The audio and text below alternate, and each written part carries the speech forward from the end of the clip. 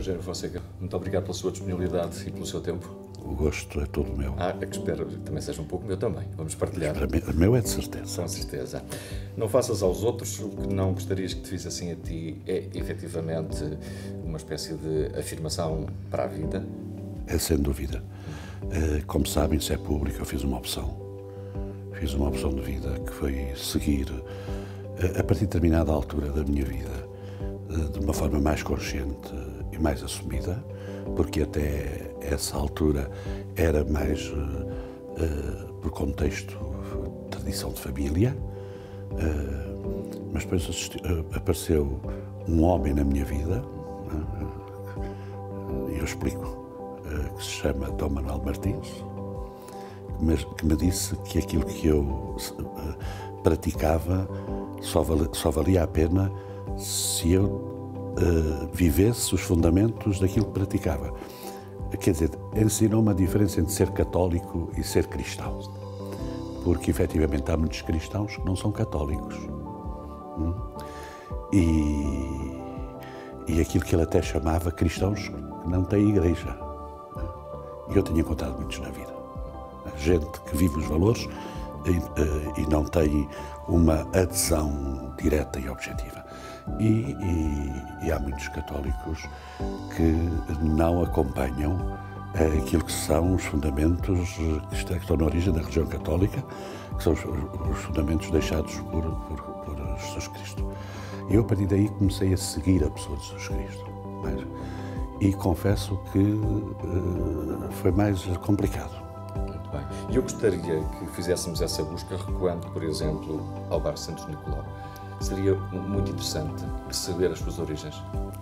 O lugar onde fui mais feliz eh, foi nesses tempos e nesse bairro, que era tipicamente pescatório. Hoje já está descaracterizado. Em que brincávamos na rua, fugíamos da polícia, porque jogávamos à bola. E, e, não se e, e, não se podia, não se podia porque a polícia não deixava e os vizinhos também se incomodavam. Até brincávamos à pedrada mas éramos mais genuínos.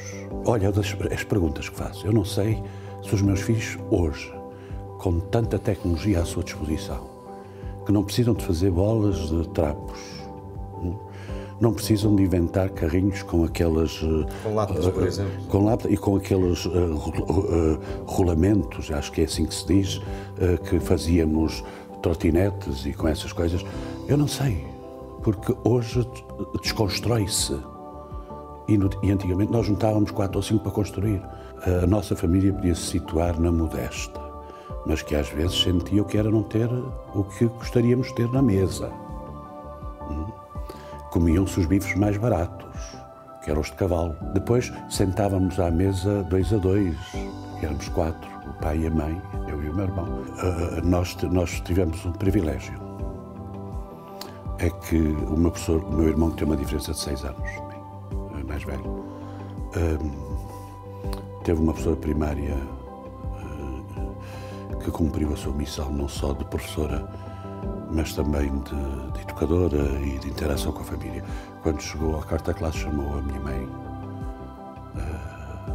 à escola e disse: Este rapaz não pode ir para o mar. Este rapaz tem capacidades que é pena desperdiçar. A minha mãe ficou aflita porque para, para, para a escola industrial e comercial, não, que era a escola dos mais modestos, tinha que fazer o exame de aptidão ao liceu. E tinha que fazer umas explicações suplementares. E não havia dinheiro para pagar. E como é que se resolveu? A senhora ofereceu-se. Sabe, para sair da pobreza é preciso sempre uma mediação. É preciso, muitas vezes, tem que estar no sítio certo e haver uma hora certa. E foi aquela professora. E a minha mãe disse: ah, se a senhora ajuda, vamos. E depois, com a, com a ajuda do regime, que era altamente paternalista, eu hoje tenho, tenho uma cara, pelo menos uma tenho, assim identifico, que é livro que venha à minha mão tem que ser arriscado. Livro que está arriscado foi lido. Livro que não tiver arriscado, nunca, não tive tempo de ler, ficou na prateleira. Porque devoro os livros, porque nunca tive um livro meu, sabe? Nem eu, nem o meu irmão íamos ao grêmio do regime das conserveiras, que a minha mãe era operária conserveira, o meu pai era pescador, e, e trazíamos o livro, tínhamos que o forrar com o jornal que íamos buscar à tasca, forradinho, e depois eu ficava muito angustiado por ver meus colegas atiravam os livros ao ar, zangavam-se com as namoradas, atiravam os livros, coisa, e eu tinha que andar com os livros religiosamente cuidadinhos, porque quando no fim do ano letivo se os ia entregar e havia lá alguma coisa que a senhora, eh, que se calhar era tão pobre como, como nós, mas éramos logo chamados a uma sala e levávamos ali uma, uma lição de moral, de alto a baixo, e depois o meu irmão eh, andou, avançou, uh, nem havia ensino secundário em Setúbal na altura, foi para Emílio Navarro, sempre na, na, parte técnica, e depois eu fui a seguir. tive uma vantagem, como era doente, tinha, fui sempre muito mais protegido. E uma diferença de idade de seis anos também acrescentou alguma coisa, porque eu apanhei a reforma do Veiga Simão, ciclo preparatório, e, e foi assim com este esforço. E isto levou-me, Ricardo, a uma coisa que é que sociologicamente temos que perceber. Eu, até encontrar a tal pessoa que já referi, eu não gostava dos pobres. Tinha aversão? Não gostava. Não gostava. Um, e embora tivesse estudado, porque já, já, já tinha estudado até psicologia e essas coisas, uh, e sabia que havia uma coisa que chamava efeito espelho, uh, eu não gostava dos pobres. Mas nunca reneguei o bairro. Sempre, sempre gostei. O meu irmão teve mais algumas dificuldades, porque, como foi o primeiro, o bairro não compreendeu bem aquela alteração. Eu lembro-me das tensões lá em casa, do meu pai que vinha da Tasca, a dizer à minha mãe: Vamos acabar com isto, nós andamos a fazer aqui um esforço. Quando morrer, morrermos, eles nem choram por nós.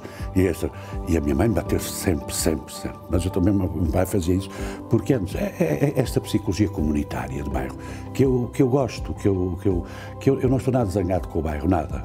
Nada, pelo contrário, continuo lá e sou muito querido. E digo mesmo aqui o que disse já a comunicação social e que se espalhou pelo país. Ainda hoje sou tratado por Geninho. Hum? E, e, e, gosto, gosto. É, e é pena estar-se a perder estas. É, eu acho que as coletividades têm aqui um papel importante de, de voltar a, a tecer laços de tradições que se perderam. Mas isto para dizer que eu não gostava dos pobres, porque a lógica era esta: Fa, façam os sacrifícios que os meus pais fizeram Pá, faltava então. Eles têm barcos, deixem de ter barcos. Depois, quando encontrei o Manuel Martins, ele ajudou-me a perceber eh, que, que isto muitas vezes é tal, a tal mediação. É muitas vezes uh, genético até na vida das pessoas. Também tivemos uma mãe inteligente e um pai trabalhador. Os outros também, não estou a dizer que no bairro havia gente malandra. Não, por isso tinham casa e tinham barco. Mas eram outras opções, porque, porque depois, quando começámos, começámos a ter a, uma revolução industrial aqui em Setúbal, com a vinda das, das, das metalomecânicas, já começou a diversificar. Já os jovens se recusavam a ir para o mar e, e, e candidatavam-se às, às, às Fiat, é? que vieram para cá, depois a Volkswagen, etc. E às celulose, etc. Deixa-me voltar atrás e, e fazer-lhe a seguinte pergunta. Não tivesse sido a, a bronquite asmática e hoje eu estaria perante um Eugênio Ronaldo Fonseca? Não. De todo? Não, não. Não tinha essa potência? Não tenho, não. Não, não, não, não, tinha, olha, não tinha, uh, não sei, porque nunca, eu, eu estava sentado no banco, porque na altura os asmáticos eram dispensados de educação física. Uh, não posso dizer isso, o meu irmão uh, foi. O meu irmão foi um júnior muito qualificado de Vitória de Setúbal. Mas olha, eu hoje também gosto pouco de andar, eu sou um bocadinho comodista. Não sei, não posso estar a afirmar isso, mas também digo, digo se fosse Ronaldo, que, que, de, que, que tivesse a consciência de não precisar tanto para viver, porque isto passa depressa. Passa muito e era, bom, era, era melhor repartir mais, embora ele faça um bom trabalho, em termos de partilha faz. Mas sabe que a pobreza é um problema da distribuição da riqueza, que está concentrada demais. E temos, não estou, não é uma censura que estou a fazer, é apenas uma constatação civilizacional. Eh, e, e, portanto, talvez fosse mais, mais admirado por ser Ronaldo do que eh, por ser promotor social. Mas sou muito feliz. Muito bem. Diga-me o seguinte: quando é que se dá, eh, de facto, o encontro das suas ideias com as suas apostas para a formação superior? Uh, Dá-se por força destas. Eu, como sabe, eu, eu andava muito envolvido no, no, na religião católica e a minha vida era casa, escola, igreja, paróquia. E, e contentei-me com, formações médias, com o sexo aqui, com o sexo acolá, porque estava muito ocupado na vida da igreja. E realmente depois foi esta necessidade de, primeiro por um lado, porque comecei a descobrir que gostava de ensinar. E para ensinar eu tinha que me qualificar mais. Uh, mas uh, para ensinar uh, eu fiz, cheguei a fazer aqui na ESE um curso que me, que me habilitava um, a, a, poder ter um, tipo de habilitação, graus de habilitação. E, e depois vem a, realmente a decisão pela licenciatura. E depois de ter feito a licenciatura, uh, ainda frequentei o mestrado, mas depois tive uma doença uh, cancerígena e parei aí. E, e sabe, depois esta vida agora é tão absorvente, tão absorvente, tão absorvente, que até às vezes há dificuldade por, eh, para irmos eh, tendo contacto mais com a literatura, etc., para nos podermos atualizar. Mas tenho uma vantagem, é que a, a literatura do, do, dia a dia, do contacto com as pessoas, vão-me atualizando empiricamente os conhecimentos. E sem vaidade nenhuma, dão-me uma certificação diferente. As ciências religiosas eh, acabaram por ser eh, parte de um percurso considerado natural, é. assim. Eu quis saber porque é que, acredito, porque é que acreditava. Quis saber. E também por, por ser uma, uma secção da, das humanidades. E também por achar que a dimensão espiritual, eu, eu faço esta observação, a dimensão espiritual, embora depois, para mim, complementei-a com a dimensão religiosa. Mas eu acho que todos nós, seres humanos, estamos potenciados por uma dimensão espiritual. Eu ainda há dias falava na Universidade Católica que, mesmo que não seja um curso para ser frequentado uh, como formação inicial, porque tem limitações de empregabilidade, mas é um curso muito, muito interessante para complementar a, a formação inicial, qualquer a licenciatura de, de, de noutra área. E eu ia perguntar-lhe justamente se encontrou mais respostas ou mais inquietação. Uh, encontrei, por um lado, mais respostas, por exemplo, sei hoje uh, aquilo que nós chamamos em termos mais técnicos, a exegese, a exegese, a exegese de determinados textos que são históricos, por exemplo, na Bíblia. E, por exemplo, percebi o que é determinados acontecimentos que temos que ver como um, uns óculos diferentes daqueles que são os óculos da realidade atual. E nós podemos interpretar. E às vezes está aí a dificuldade. Quando é que se deu uh, a sua aproximação ao Instituto e o seu envolvimento? Desde, desde, desde os primórdios. Pois. Desde, e sabe porquê? Por causa da OID. Veja, eu que, quando fui convidado para a Caritas, disse ao Bispo que não percebia nada disso. Porque não queria estar com os pobres. Porque mostrar-me com os pobres era passar para a condição deles. E eu defendi-me. Uh, e ele disse-me, é mesmo para não perceber, é que eu quero que tu vás. Ainda fiquei mais perplexo, porque costumamos dizer que é melhor que se não perceberes, é melhor não me meteres. E ele justificou, não percebendo vais fazer as neiras, mas vais fazer coisas novas. Porque aqueles que percebem estão sempre a fazer o mesmo. E eu, eu olha, arrisquei. E daí, às vezes, uh, uh, ainda me lembro de alguns uh, que estavam envolvidos na Operação Integrada de Desenvolvimento, foi nessa, nessa altura, ter, me terem rotulado assistencialista. Acabei por ir parar à Comissão de Avaliação da, da Operação Integrada de Desenvolvimento.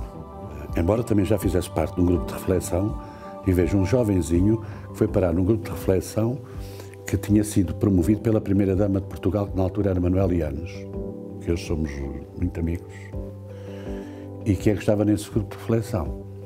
Uh, para além de Vitor Melícias, para além de Bruto da Costa, António Guterres, que eu nem sabia que tinha aquelas uh, quesílias partidárias e, e, tive que me habituar a, a essas lides, não é? Aquilo, o, tal, o tal grupo do Sótão, é?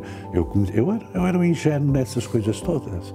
E foi aí que me encontrei com o Instituto através uh, do, do Presidente do Instituto e da importância que no contexto de uma recuperação de uma crise gravíssima, se, se percebeu ter, estar a nascer, estar a nascer, estava a nascer, um Politécnico um ensino universitário nesta região.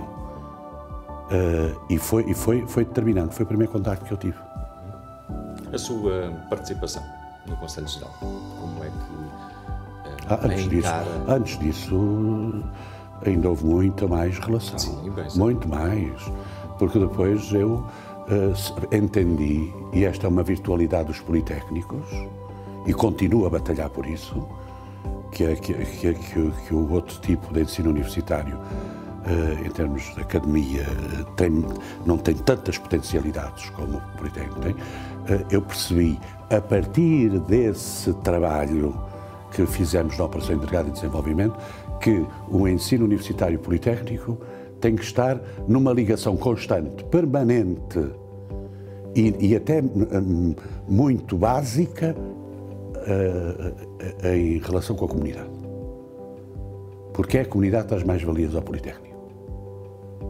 E o Politécnico é um ensino universitário que está, uh, penso, talhado para poder fazer o entrosamento entre aquilo que são as realidades humanas, da vivência, de onde está inserido, para depois tornar isso academia, para tornar isso ideia. E tem sido para si evidente essa ligação? Sim, sim, e cada vez maior, cada vez maior. E aí, então, o Conselho Geral tem-me dado uma, uma ajuda muito grande, porque eu via como espectador, via como agente social, vinha, via como alguém que eh, vinha cá e lançava desafios de parcerias pontuais. Agora, tendo esta honra que me é concedida de pertencer ao Conselho Geral, eu vou tendo uma amplitude maior uh, da, do nosso Instituto Politécnico. Um, o seu raio de visão mudou em muito, a esta casa? Muito, sim, muito, muito. Sim, muito, e no que é que se traduz? Traduz-se, olha, traduz-se uh, uh, nesta preocupação do maior rigor científico. Sermos um dos institutos que tem o maior número de graduados é importantíssimo, porque isto leva também a potenciar algo que o ensino universitário em geral tem que ter, e o Politécnico, pelas razões que lhe digo, melhor que lhe disse, ainda mais, porque tem condições para ir ao empírico e, tra e trazê-lo e, e, fazer depois disso ciência objetiva, uh, que é a capacidade de investigação.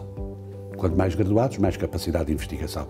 E o nosso Instituto só não tem mais porque os meios, infelizmente, neste país para a investigação é aquilo que nós sabemos.